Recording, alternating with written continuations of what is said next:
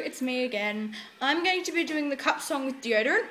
My Lynx deodorant, even though I don't like it. Close the lid, don't keep it open, because yesterday I went and sprayed in my eyes and I thought I was going to go blind. So yeah, keep the lid closed like this. So I'm going to start off slow, then get quicker. And yeah, I do fail, so laugh all you want. Okay, let's go start now. And then I'll make another video of a tutorial of how to do the cup song.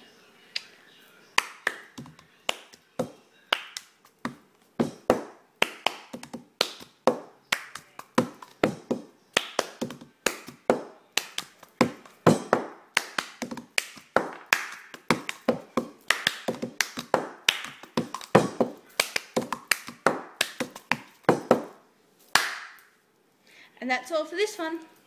Catch you in a minute. Bye.